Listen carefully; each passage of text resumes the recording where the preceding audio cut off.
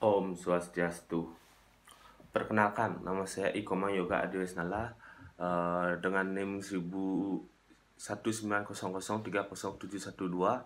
dari kelas BC 193. Di sini ya, saya akan menjelaskan tentang uh, penerapan uh, kalkulus dalam kehidupan sehari-hari.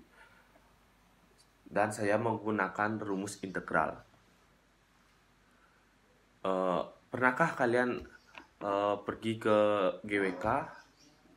Di sana ada patung yang berada di GWK yang besar itu. Pernahkah berpikir uh, berapa sih luas berapa sih luas uh, patung tersebut yang yang yang digunakan untuk membuat patung tersebut?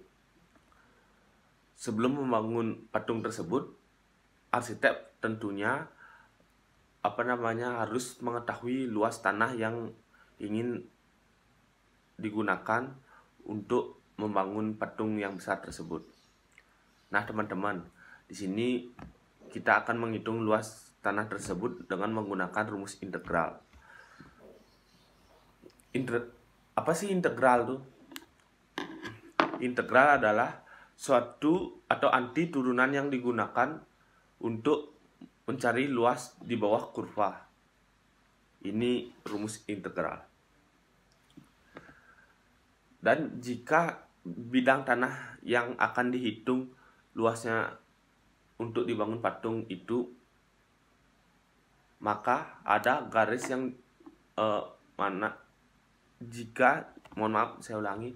Jika bidang tanah yang akan dihitung luasnya untuk dibangun patung tersebut maka harus ada garis yang membatasi di mana garis tersebut adalah y sama dengan 2 x plus 1 x sama dengan 1 dan x sama dengan 2 perhitungannya sebagai berikut.